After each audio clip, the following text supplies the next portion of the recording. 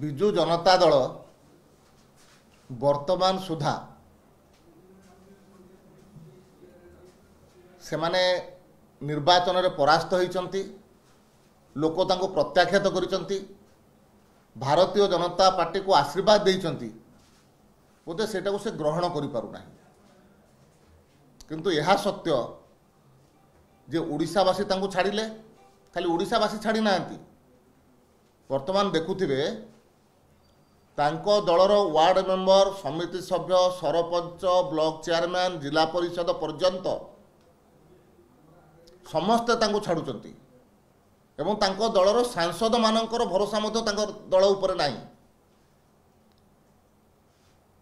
ନିଜେ ମୁଖ୍ୟମନ୍ତ୍ରୀ ଯିଏ ଥିଲେ ୟା ପୂର୍ବରୁ ତାଙ୍କ ନିର୍ବାଚନ ମଣ୍ଡଳୀର ନିର୍ବାଚିତ ପ୍ରତିନିଧିମାନେ ମଧ୍ୟ ତାଙ୍କୁ ଛାଡ଼ି ସାରିଲେଣି। ତେଣୁ ସେ ଗୋଟେ ବିଳି ବିଳେଇବା ହେବା ଆରମ୍ଭ କରିଛନ୍ତି। କେବଳ ମିଡ଼ିଆରେ ରହିବା ପାଇଁ ପ୍ରକାର ନାଟକ କରିଛନ୍ତି ଓଡ଼ିଶାବାସୀ ଦେଖି ସାରିଛନ୍ତି ଯେ ୟା ପୂର୍ବରୁ କେଉଁ ପ୍ରକାର ଓଡ଼ିଶାରେ ଗୋଛି କଟା ସରକାର ଥିଲା। ତେଣୁ ଯେଉଁମାନେ ଦିନେ ଓଡ଼ିଶାବାସୀଙ୍କର ଗୋଛି କାଟିବା ପାଇଁ ଚେଷ୍ଟା କରୁଥିଲେ ସେମାନେ ଏତେ ବଡ଼ କଥା କହିବା ପୂର୍ବରୁ ଶହେ ଥର ଚିନ୍ତା କରନ୍ତୁ ଓଡ଼ିଶାବାସୀ ତାଙ୍କୁ ଠିକ୍ ଜାଗାରେ ରଖିଛନ୍ତି ଏବଂ ଆଗକୁ ମଧ୍ୟ ରଖିବେ।